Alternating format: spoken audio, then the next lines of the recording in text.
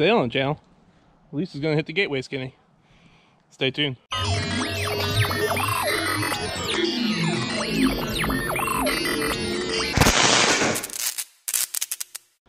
Alright guys, welcome back to the channel. Today Elise is going to be taking on the gateway skinny. Uh, for those of you that don't know, it's this long skinny that runs here on gateway. It's a uh, pretty low consequence as long as you don't fall off right here in the middle. It's about the highest point, but honestly, you can hop off it. It's not too big of a deal. And once you get past that point, you can literally just side hop off or even just roll your tire off and you'll be fine. It's mostly just about keeping a straight line as you go through here. I would say it's about, what would you say, 25 feet long ish, maybe. Rough estimate if I had to guess, 25 feet ish long. So anyway, without further ado, let's see, uh, let's see Elise hit this thing.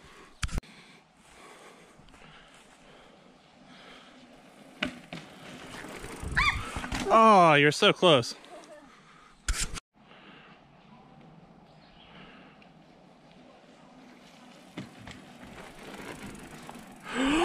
yes! Sick. Hey everyone, I just hit the Gateway Skinny. Very proud of myself. It's definitely a little tricky with the balance and everything, but as long as you uh, stand straight and look forward and uh, keep your balance standing up, uh, you'll do great. Um, still not my favorite feature, but uh, I made it, and so I'm proud of myself. Keep going. Good job, babe. All right, guys, so here's the part where we give you a couple tips. Uh, like Elise said, just keep it straight, steady, keep your head up, look forward. It actually does help if you drop your hips a little bit, not much, maybe about an inch. It really lowers your center of gravity keeps you from wobbling so much. But that's going to do it for uh, this installment.